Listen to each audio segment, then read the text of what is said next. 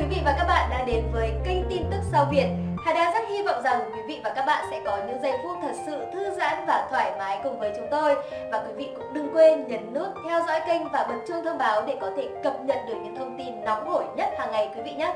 Còn ngay bây giờ thì mời quý vị hãy cùng đến với những tin tức mới nhất trong ngày hôm nay.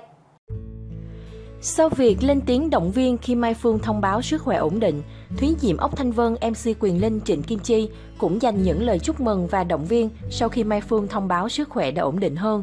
Mai Phương cho biết sau hơn 2 tuần điều trị, sức khỏe của cô đã tạm ổn. Cô gửi lời cảm ơn đến mọi người đã yêu thương lo lắng đến mình. Sau những giờ phút bão táp của cuộc đời, tôi đã khỏe và ổn hơn. Mai Phương thông báo tình hình sức khỏe sau 2 tuần nhập viện. Sáng 19 tháng 9 trên trang cá nhân, Mai Phương chia sẻ dòng trạng thái vô cùng xúc động về tình hình sức khỏe sau 2 tuần nhập viện. Cô chia sẻ con gái La Vi là nguồn động lực lớn nhất giúp cô vượt qua bệnh tật và trở về nhà cùng con. Nữ diễn viên viết, sau tất cả những giờ phút bạo táp của cuộc đời, Phương đã khỏe hơn, ổn hơn rồi cả nhà nhé. Thời gian hơn 2 tuần qua, Phương thực sự cảm tạ trời đất và tri ân, biết ơn các anh chị, bạn bè, các em. Cũng một lần nữa xin phép không kể tên và thầy cùng gia đình đã chạy ngược xuôi lo lắng và thậm chí cả những giọt nước mắt thức trắng đêm cùng Phương trong những giờ phút sinh tử. Từ sâu trong tận tấm lòng, Phương mang ơn vô cùng những điều đó, thậm chí đến lúc nhắm mắt cũng sẽ không bao giờ quên. Cảm ơn con gái của mẹ La Vi, con là động lực mạnh mẽ nhất để mẹ có thể vượt qua mọi thứ và quay về để được ôm con ngủ như thế này, hạnh phúc lắm.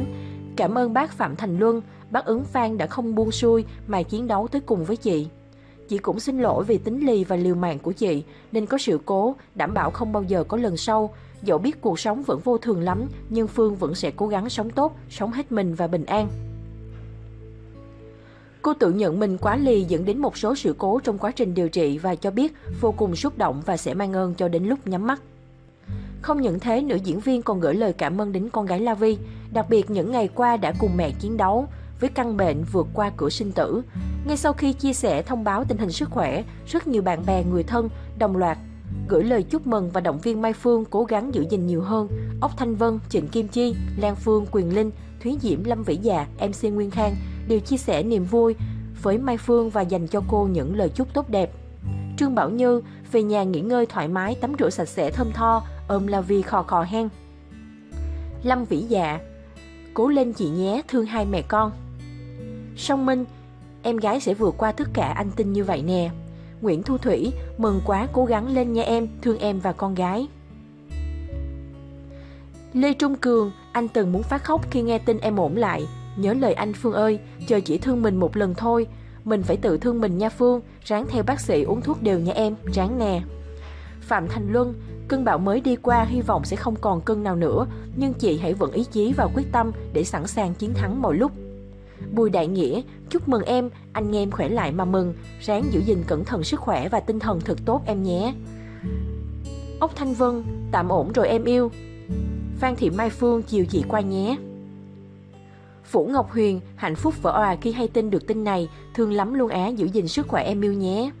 Mai Thu Huyền, chúc mừng em Mai Phương đã khỏe lại, em giữ gìn sức khỏe nhé. Đoàn Nguyên Khang, Phương khỏe là mọi người vui rồi, cố gắng. Quốc Thái, thương em gái nhiều. Các nghệ sĩ Việt bày tỏ sự vui mừng khi nghe tin Mai Phương đã ổn. Nhiều đồng nghiệp đã gửi lời thăm hỏi và cầu chúc sức khỏe đến cô.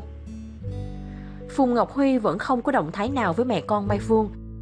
Từ khi Mai Phương phát bệnh đến khi trở về, Phùng Ngọc Huy chỉ có động thái hỏi thăm mà hỏi qua bình luận Facebook chứ không có thêm một hành động nào đó thiết thực. Thiết nghĩ khoảng cách từ Mỹ về Việt Nam chẳng bao lâu, thủ tục cũng không có gì rườm rà, trong khi các sao Việt vẫn đi về âm mầm, thế nên việc khán giả chỉ trích Phùng Ngọc Huy là hoàn toàn đúng, chứ không có gì đáng bên vực cả.